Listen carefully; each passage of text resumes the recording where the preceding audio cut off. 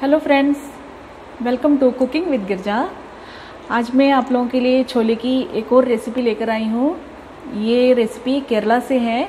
वहाँ पर इस रेसिपी को कोकोनट ग्रेवी के साथ बनाया जाता है और जो कि बहुत ही टेस्टी लगता है। और इसे अपम के साथ में पराठे के साथ, चपाती के साथ आप किसी के साथ भी टीम अप कर सकते हैं। बहुत ही टेस्टी यमी रेसिपी है। रेसिपी स्टार्ट करने से पहले अगर आपने मेरे चैनल को अब तक सब्सक्राइब नहीं किया तो प्लीज़ सब्सक्राइब कर लीजिए और बेल आइकॉन को दबाना मत भूलिए, जिससे कि आपको सारे नोटिफिकेशंस मिलते रहेंगे। तो लेट्स स्टार्ट कोकोनट का पेस्ट रेडी करेंगे। इसके लिए मैं यहाँ पर एक जार में कोकोनट ले रही हूँ। ये फ्रेश कोकोनट है, इसे मैंने ग्रेट कर लिया है। और इसमें जाएगा सौंफ। यहाँ पर मैंने टू टेबलस्पून सौंफ लिया है। इसी से करी का फ्लेवर आएगा और फ्रेश कोरिएंडर बस, इसमें थोड़ा सा पानी डाल के हम इसे बढ़िया सा पेस्ट रेडी कर लेंगे, एकदम स्मूथ छोले मैंने उबाल के रख लिया है। छोले में सॉल्ट डाल के और थोड़ा सा हाफ़ टी स्पून मैंने इसमें सोडा डाला है और इसे अच्छी तरह से, इस तरह से बॉईल कर लेना है। अब इसी छोले में हम हमने यहाँ पर एक प्याज लिया है, उसका आधा पार्ट हम इसमें डाल देंगे। और हरी मिर्ची, जिंजर और गार्लिक।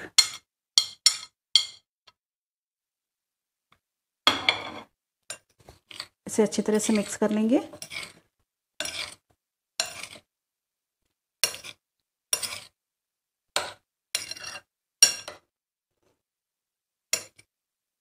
इसे एक साइड में रख देंगे मिक्स करके।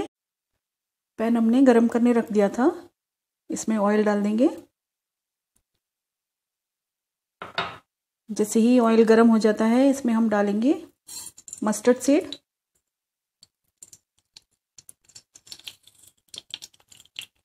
इसे स्प्लिटर होने देते हैं। मस्टर्ड हो गया है। इसमें बचा हुआ अनियन हम डाल देंगे। और इसे गोल्डन कलर आने तक फ्राई करेंगे।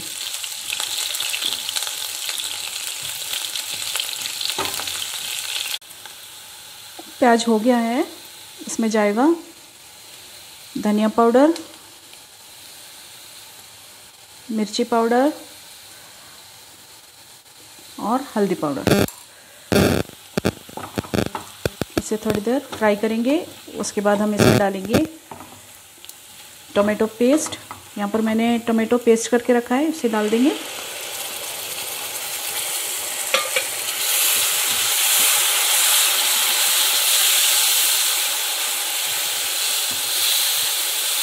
मसालों को टोमेटो के साथ में ऑयल सेपरेट होने तक फ्राई कर लेंगे।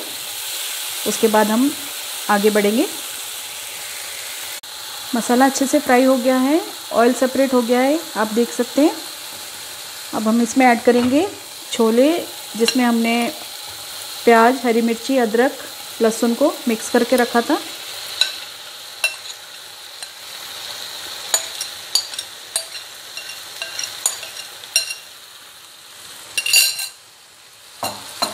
एक बार इसे अच्छी तरह से मिक्स कर लेंगे।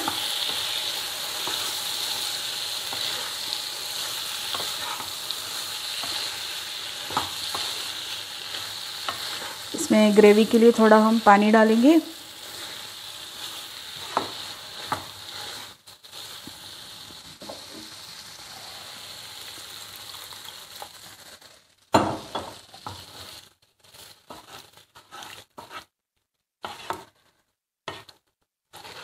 अच्छी तरह से मिक्स कर लेंगे। साथ ही आप इसमें नमक भी टेस्ट कर लीजिए। अगर नमक कम लगता है तो आप डाल सकते हैं। क्योंकि हमने छोले बॉईल करते समय सॉल्ट ऐड किया था। तो थोड़ा सा पानी हम और डालेंगे, क्योंकि ग्रेवी काफ़ी थिक लग रही है।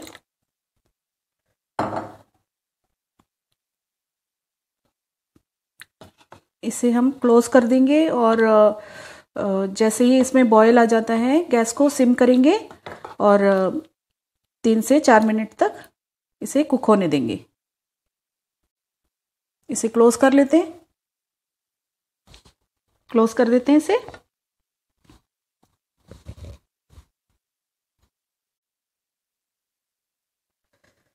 चलिए चेक कर लेते हैं। इसे कुक होते होते चार मिनट हो गया है। इसमें जो भी हमने प्याज, हरी मिर्च सब डाला था, वो भी कुक हो गया है इसके साथ में। अब हम इसमें डाल देंगे कोकोनट, धनिया और सौफ का पेस्ट जो हमने किया था, उसे हम डाल देंगे, ये काफ़ी थिक है। तो इसे मैं पतला करने वाली हूँ। तो इसे मैं इस बाउल में डालूँगी और इसे थोड़ा सा पतला कर लेंगे, पानी डाल के।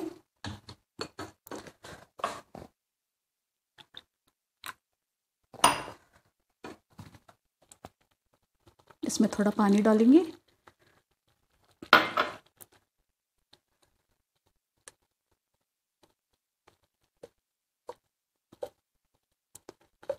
इस पेस्ट को इसमें डाल देंगे।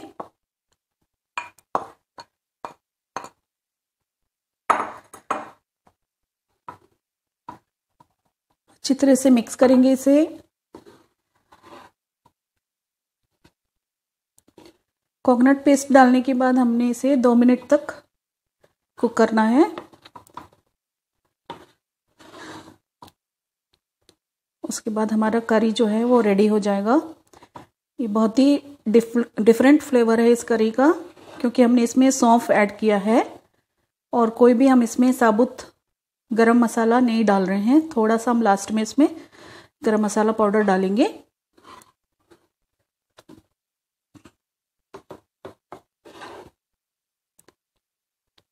इसे दो मिनट बॉईल होने देंगे।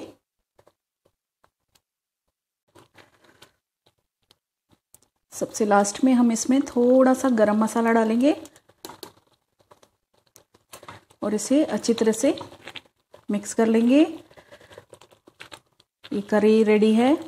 इस करी को आप टीम अप कर सकते हैं बॉयल्ड राइस के साथ में और चपाती पराठा किसी के साथ भी आप इसे सर्व कर सकते हैं। बहुत ही टेस्टी करी है।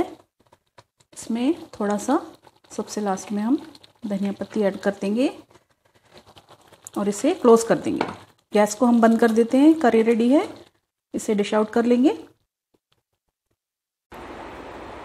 फ्रेंड्स, आपने देखा छोले बनाने का एक और नया तरीका? तो आई होप कि आपको आज की रेसिपी ज़रूर पसंद आई होगी। आप लोग इसे ट्राई ज़रूर करें और मुझे अपने अनुभव ज़रूर शेयर किया करें कमेंट सेक्शन में। और अगर आपकी कोई रेसिपी की डिमांड है तो आप वो भी मुझे लिख सकते हैं कमेंट सेक्शन में। मैं आप तक ज़रूर वो रेसिपी पहुंचाऊँगी। अगर आपको आज की रेसिपी पसंद आई तो इसे लाइक शेयर ज़रूर करें और मेरे चैनल को सब्सक्राइब करना ना भूलें। Thank you so much